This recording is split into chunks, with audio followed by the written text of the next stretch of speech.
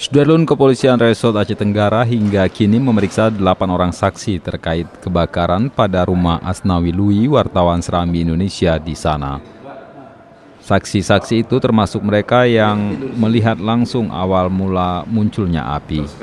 Pada prosesnya, kepolisian setempat mendapat backup langsung Polda Aceh.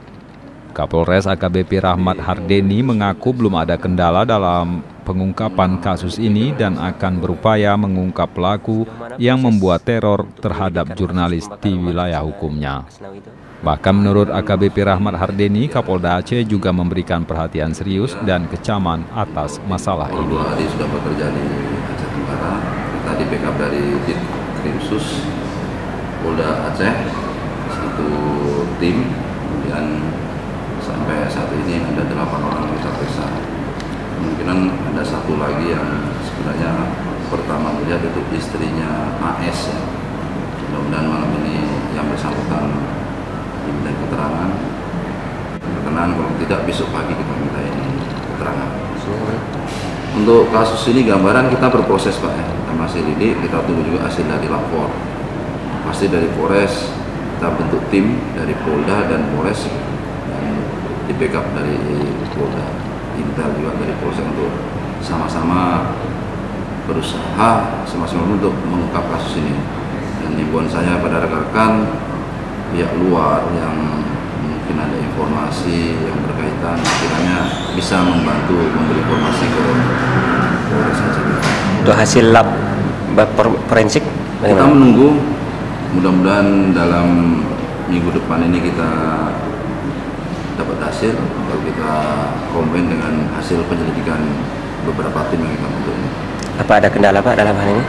Alhamdulillah sampai ini belum kendala yang kita kendalakan dari pelapor yang harusnya hari kedua ternyata belum siap dan hari ini kita minta keterangan dari istri korban. Upaya-upaya lain Pak?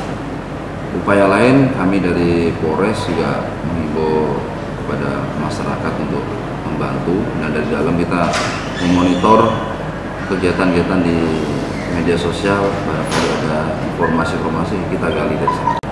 Sampai detik ini kami belum bisa simpulkan nanti pak. Karena nanti harus minta keterangan dari korban. Lebih dalam lagi kalau memang. Selama ini sebenarnya insiden seperti ini nggak terjadi pak? Ya? Aceh Tenggara ini cukup aman sebenarnya. Jarang terjadi lah. Juga kaget ada kejadian seperti itu.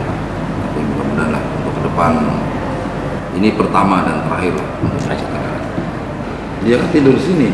Ya. tersekat ruangan. Yang dia. Kalau dia tidur di kamar di sini atau di sini masih kelihatan.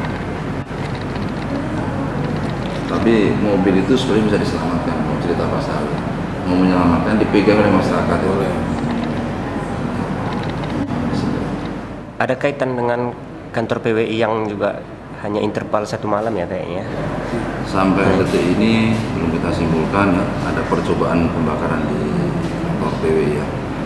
Ada dua hari habis dua setelah kejadian.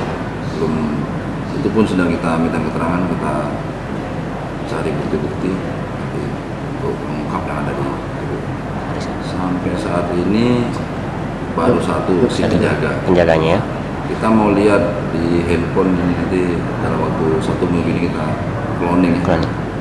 ada siapa dan ada titik terang barang bukti di lokasi kita amankan ada tutup aqua bekas bakaran terus mendokumentasi apa pintu yang hangus Hangus, ya. Dari Kutacane, masyarakat Serambi On TV. lapor kemarin turun juga ke